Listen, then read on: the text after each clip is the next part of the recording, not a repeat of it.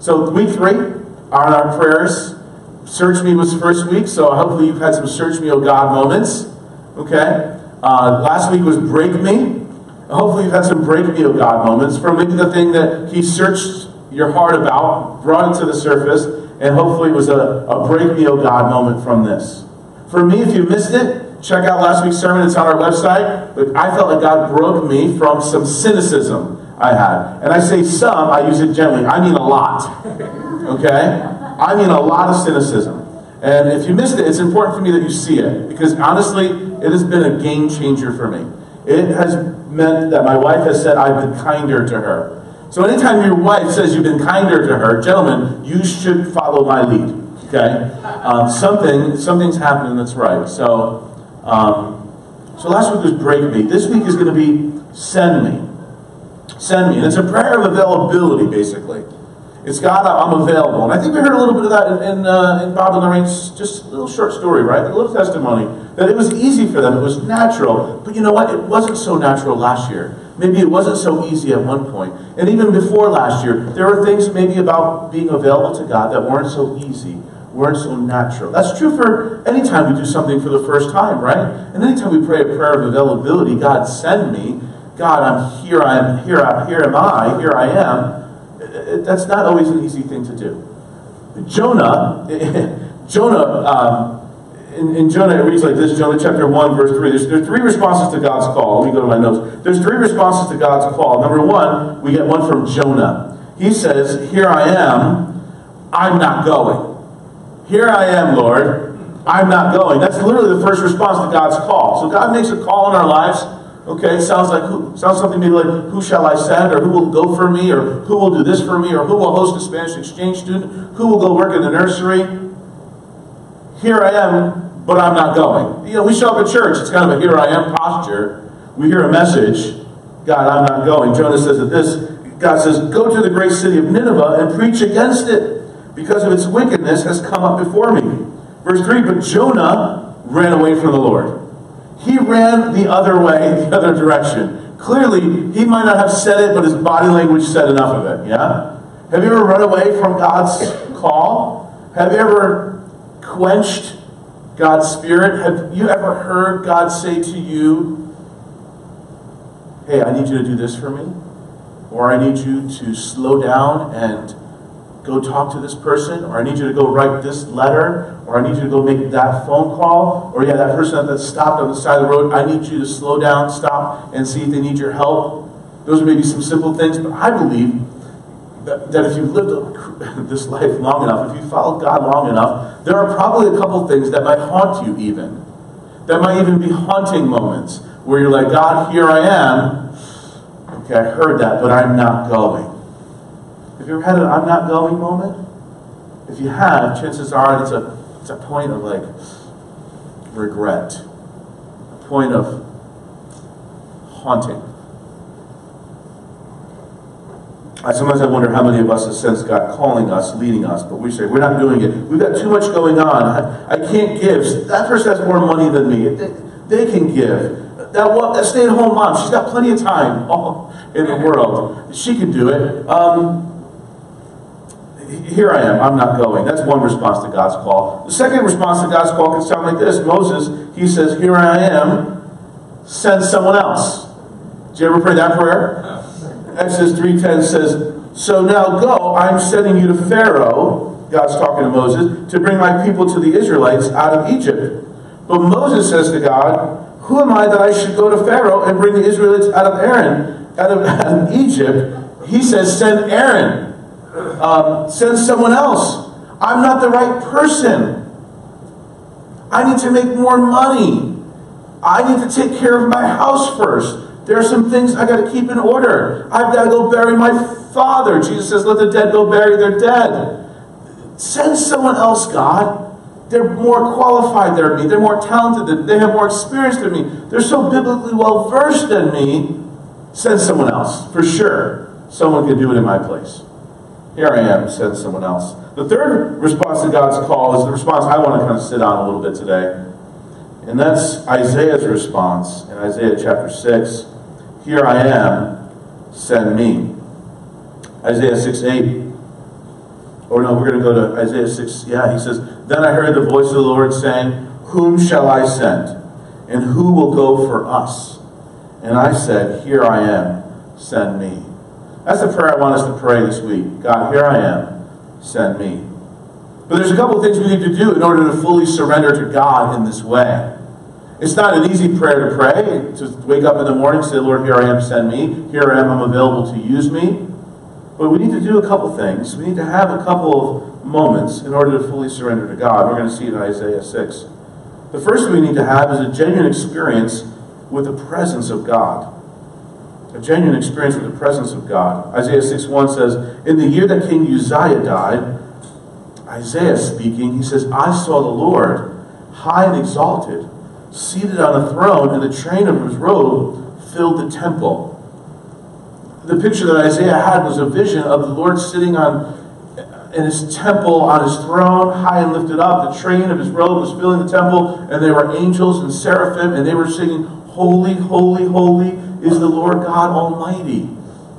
Isaiah had a moment where he was literally in the presence of God. He saw the presence of God. He felt like he was in the presence of God. He had been ushered in the presence of God. We use a word sometimes called the manifest presence. It's where, I don't know, have you ever had a moment where you're driving down the road and you've got a worship song on and all life is going sorts of different ways and you're seeking God and all of a sudden it just feels like your car is flooded with His presence? That that song, that music, His Spirit takes you to another place?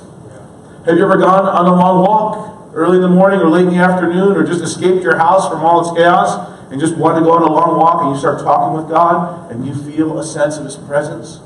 I mean, have you ever been here on a Sunday morning where all of a sudden we're worshiping and someone's talking and we're doing some communion or there's just a moment even here where we're experiencing kind of the presence of God. There's a sense in your spirit that God is here, He's real, He's talking to me that His Holy Spirit is ministered in my heart. Isaiah has this real sense of the presence of God. He feels the whole earth is full of His glory, and when you sense the presence of God in your life, one of the things that's going to happen is you're going to naturally be inclined to make yourself more available to God. When you draw near to God, He will draw near to you. When's the last time you had a genuine experience with the presence of God? And let me say this it's not based on anyone else. It's no one else's responsibility to create a space for you to experience the presence of God. You can't say, oh, Pastor, but the worship leader, I'm so tired of singing that song over and over again. The speaker, it's you every week. Why can't we have a guest speaker? When we have a guest speaker, I experience the presence of God. Whatever it is, no, there is, it is no one else's responsibility to help you experience the presence of God. The reality is it's available to each and every one of us. In the still places, in the quiet places, in the everyday places. Every day, every day, guys, you and I can experience the presence of God. He loves to come to you when you pause and you slow down and you take some time to be with Him in my house, there is a battle for the presence of Anthony. You don't know this. I am the most wanted man in my home. People, people, these are my kids, my children, my, my four children, and my wife. These people vie for my presence.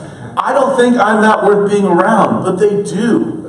Allison wrestles, struggles to get those boys in bed as early as possible. And the only reason is so that she can be with me. And I wonder why my kids battle to be with me. I, the moment I'm home, can we play, Daddy? Can you can you play basketball with me? When are you going to stop working?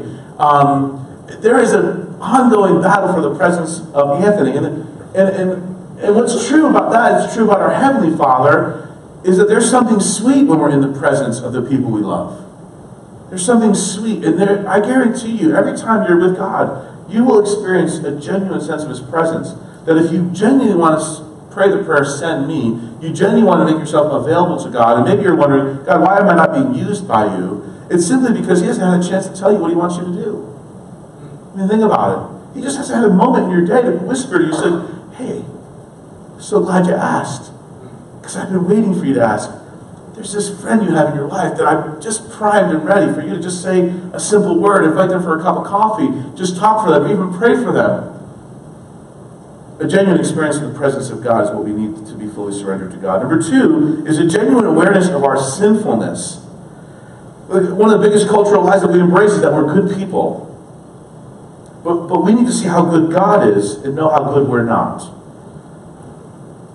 And so verse 5, Isaiah writes this after he's been in the presence of God. His first response to the presence of God is, Woe to me, I cried.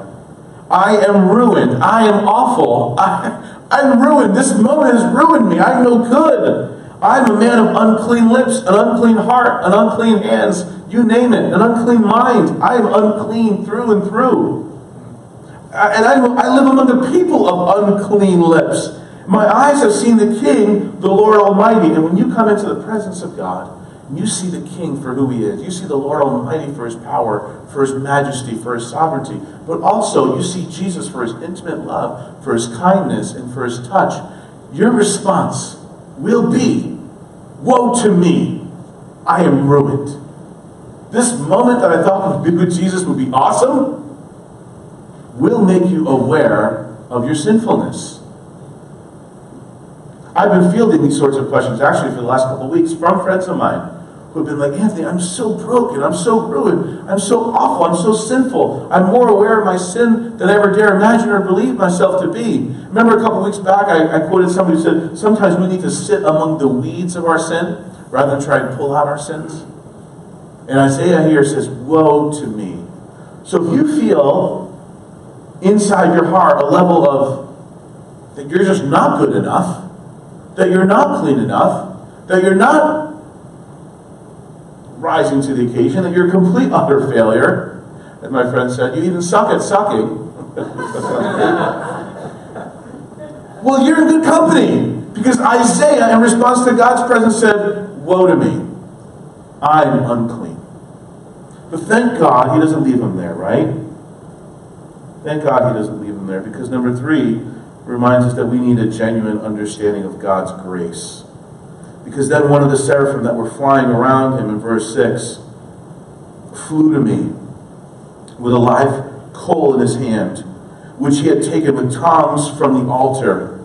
And with it he touched my mouth and said, See, this has touched your lips. Your guilt is taken away, and your sin has been atoned for. As far as the east is from the west, I have removed your sin from your life. For all those who believe in the Lord Jesus Christ, you have been saved. You are clean. You are forgiven. And for those of us who stand in the presence of God, respond by saying, Woe to me, I'm unclean. Jesus comes along and cleanses us and forgives you. And he says, Therefore, there is now no condemnation for those of you who are in Christ Jesus. No condemnation. He doesn't remember your sin anymore. He has cleansed you from all unrighteousness, and he has robed you with his robe. He has clothed you with his robe. And I'm reminded that God's mercies are new every day. That every day we can say, Oh God, woe to me. Your lying lips, our hatred, our secret sin, our sexual sin, the fact that we've stolen, we've cheated, the same coal that removed his guilt is the same blood that Jesus takes away our sins. That we don't bring anything to the table. Jesus brings it all. Yeah. So we can say, Send me. Not for who I am or what I have or the skill set I can bring, but because of your presence, I can embrace my sinfulness and I can fall in your grace. And so Isaiah chapter 6, verse 8, Whom shall I send? Isaiah finally responds, Here I am. Send me. Here I am. Send me. It's not a reluctant send me either. It's not a, well, shoot, I got to serve Jesus now that he did all this for me. It's that I get to serve Jesus. I get to give him my life. I want to serve him. I want to be at his beck and mercy. If you've been in the presence of God, your response is, Oh God, thank you. What can I do for you? How can I serve you? It's, it's also not a one-time decision. In 2002, November 16, 2002, whenever you gave your life to Jesus and said, Lord, send me, it's not a one-time decision. But it's an everyday, must-pray kind of prayer. The reality is, you guys have handed me prayer cards, and I love them. I've been getting them, and I've, I've been reading them. I actually put them on a little metal loop. I hole punched them, and I keep them in my bag now, and I flip them, and I'm praying for you. So keep filling out those connect cards. Write your prayer requests down. Put them on the thing. We're going to be praying for you until I flip that card over and write the answer to your prayer and when that prayer was answered. So don't be cynical. Don't give up hope. Pray, and I'm praying with you. But most of the prayers we pray are for ourselves, about ourselves, or for the loved ones we love, right? I have not got a prayer request yet that says, Pastor, pray for me. God is sending me here. And I need you to pray that I have the courage to do this. Or I need you to pray that I figure out the plan to accomplish this or the strategy to figure this one out. Pray for me because my faith isn't big enough to accomplish this task. Pray for me because I've got so and so, so and so, so and so that are kind of pushing up against me because God is sending me somewhere. Now, I'm not asking God to send you to the farthest corners of Africa, okay? Although that's a good place. But I don't think for many of you that's going to be where God sends you. I think He's going to send you here. I think He's going to send you where you live, where you work, where you play, locally. That more likely than not, that's where God wants to send you. That's where God wants you to be available. Once you understand all this, it's easy to say yes to Jesus. Our spirits, when we get sent, become alive in Christ.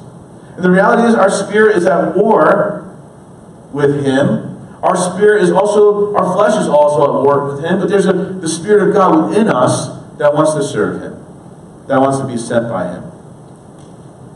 So, this is our prayer this week. Send me. Send me to Africa. Send me to Tajikistan. We don't have to go to Tajikistan. Aggie knows someone from Tajikistan. Do you know where Tajikistan even is, folks? No, it's in Central Asia. And you cannot preach the gospel in Tajikistan. You will get kicked out of that country. In Kazakhstan, Tajikistan, all the stands. But do you know what's happening here? Is that the stands are coming to America. There are people all around us that we are connected to through some points of influence, and you have no idea how close you are to people who cannot be reached the ends of the world are coming to us. And so we need God to send us. We need God to send us, even here, even locally.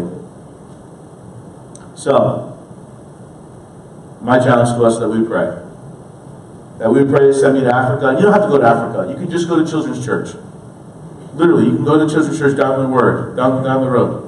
They, the nursery is like Africa. Matter of fact, Maximo this morning, he thought I was going to the nursery. He said, Dad, you're finally going to go, you're finally to go work in the nursery? I was like, literally, he heard me say something. He said, Dad, you're going to finally go work in the nursery? Like that was like, you know, the big field. He, he said, Ada, that's a Siebert's daughter, he said, Ada does, a, does an army crawl down the nursery. And um, look, God, God needs us to serve.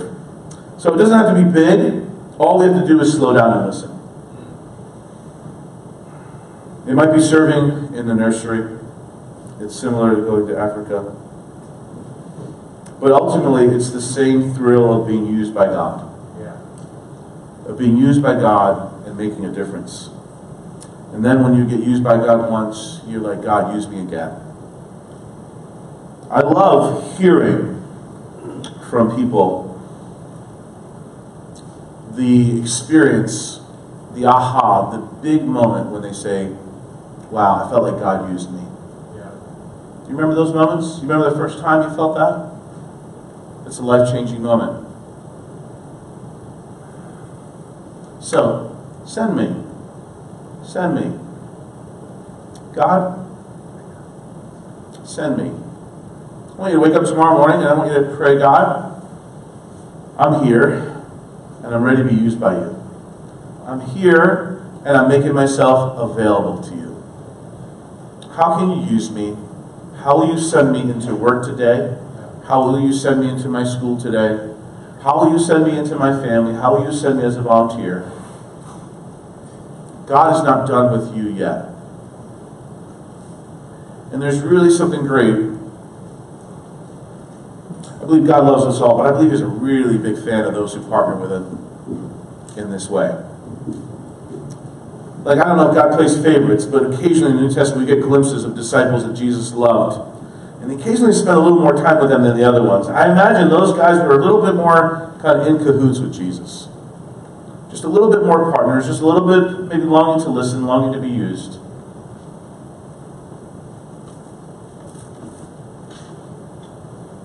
I love getting your prayer requests, but I would even love hearing more how God and where God is sending you. So, let's bow our heads for a second. There's a few of us in here, but you know what? It only took 12 to change the world. And if God sent us in this room, if we like really listen to God and genuinely, sincerely, like a child, said, God, how can you use me today? Where do you want to send me? I'm available for you.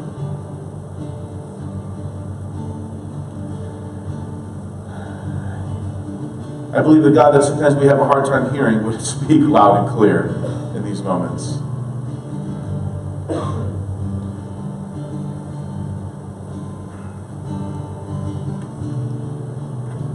But we touched on a couple things, so uh, right now I just want us to meditate for a few minutes on the genuine experience of God, the awareness of our sinfulness, and understanding God's grace. So, Lord, in our hearts right now, would you fill us with your presence?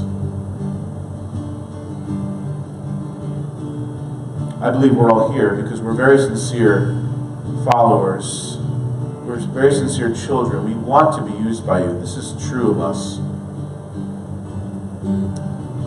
So would you give us an experience of your presence this morning? Would you, as you show us our sinfulness, help us to fully understand your grace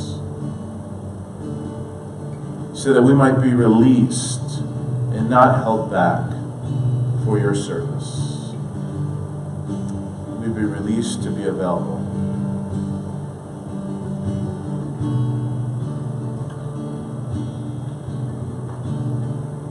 Send me, Lord. Send me.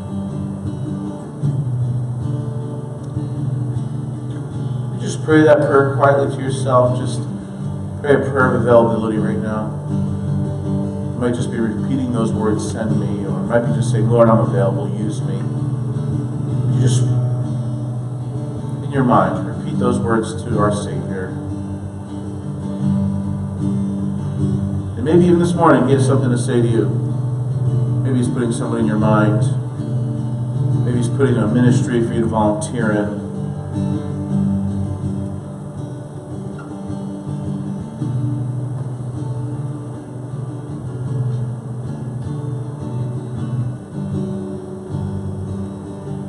God, would you send us? Lord, we're making ourselves available to you as a church and as individuals. Send us, O oh God. We're here. Use us. May this day be a life changing moment for the posture for the rest of our week and the rest of our days. Help us to see as you see. Name, amen. And let's stand together. Let's worship our God, the one who loves to send.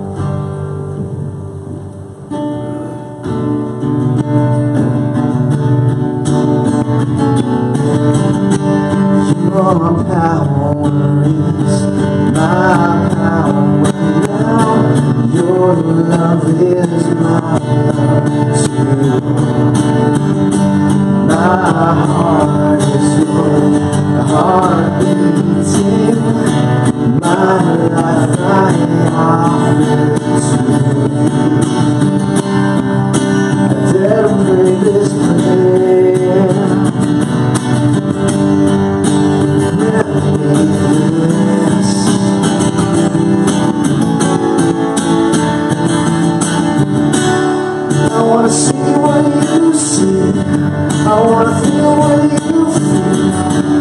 feel. Wanna carry your passion for this world.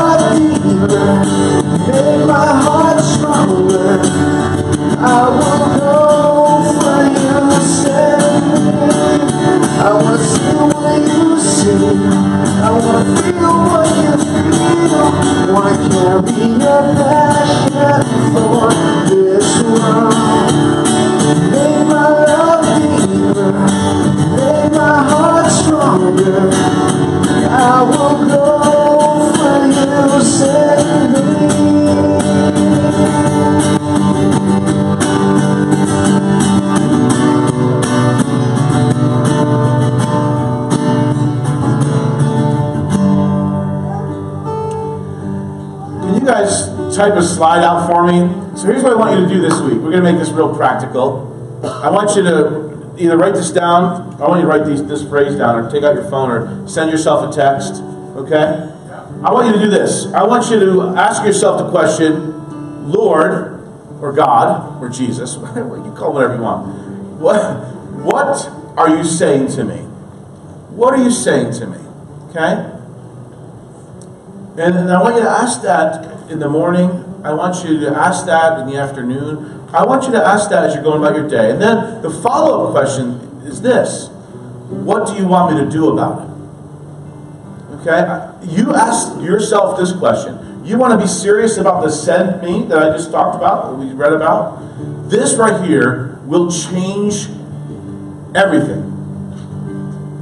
If you're working with people, if you're sitting Dr. Bob's working on someone in his chair, and he's listening to stories, and he asks this question while they're talking, while he's drilled in their mouth, all right?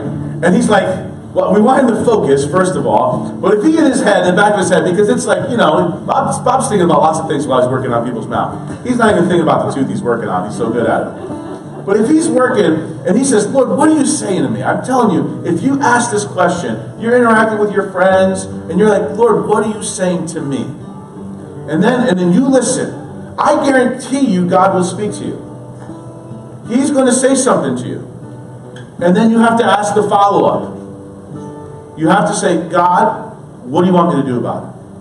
I remember hearing this once, the guy's like, you know, God said, go buy him a hot dog. And he bought him a hot dog. And all of a sudden, the, the conversation went 10,000 different places. You don't know what that one thing's going to do, that thing that God's prompting you to do. So look, if I never see you again, God bless you. But if you keep coming back every week, I want to hear what God's saying to you, what you did about it. I guarantee you're going to come back and like, Anthony, things are different. I'm making myself available to God, and all of a sudden, this is easy. I got, I can't even keep up with God because He's got so many things. So look, two questions, Lord, what are you saying to me? And then, and then you got to follow up. God, what do you want me to do about it? And I don't care if it's as dumb as buying someone a hot dog. Okay, do it. And, and if nothing comes of it, you share a good hot dog together. but something might come of it. So,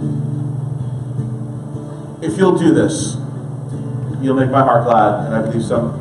I believe your life will just you'll, you'll experience some unique thrills of serving God. So, God bless you guys. Moms, have a great day. Everyone, have a great day today. Enjoy yourself. Find some time to be with God and, and, whoever. Just have a great day. Can I say that? God bless you. We'll see you next week at the Jumping Brook Country Club. Okay? We've got the space from like 9 o'clock in the morning to 12, but we're calling our time from 10 to 11.30. Be there promptly at the, that time. $10 a person is suggested. It's actually $20 a person buffet, but the church is covering most of the cost. So if you can contribute, but we want no one to be left out. So please come. If you can't afford it, that's okay. God will provide money. Trust me. Um, bring a friend. This might be a great event. Might be a great little experience. We're going to be singing. We're going to sing together. We're going to try and get a little couple testimonies going. I'm going to say a little something about prayer, and we're just going to have a good time together. Okay? So we'll see you next Sunday. Bye bye, everybody. Have a great day.